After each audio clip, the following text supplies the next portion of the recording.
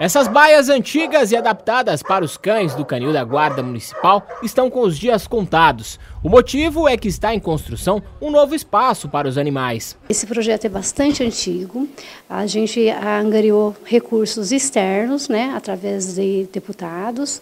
Então veio uma verba externa. E por quê? Porque o nosso canil ele tem uma referência.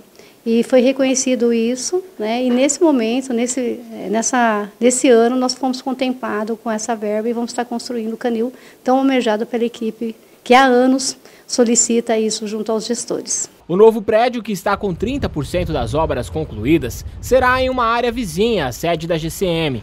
A construção deve melhorar a qualidade dos serviços oferecidos pelo Canil da Guarda. Isso vai trazer um ganho muito muito grande para a gente, né? tanto em treinamento, é, vida social dos cães, é, saúde, né?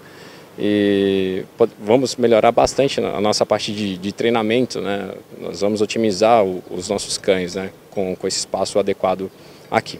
O projeto do novo espaço tem um orçamento de 602 mil reais e o prazo de quatro meses para a conclusão das obras. O prédio terá área administrativa, banheiros, sala clínica, depósito e 10 modernas novas baias para os cães, o que, segundo o veterinário da Guarda Municipal, atenderá todas as normas para o bem-estar dos animais. O potencial dos cães né, é, será evoluído de uma forma significativamente é importante, devido ao tamanho dos boxes, as adequações serão feitas, né? A gente vai diminuir o estresse, aumentar a qualidade de vida deles e principalmente o preparo físico.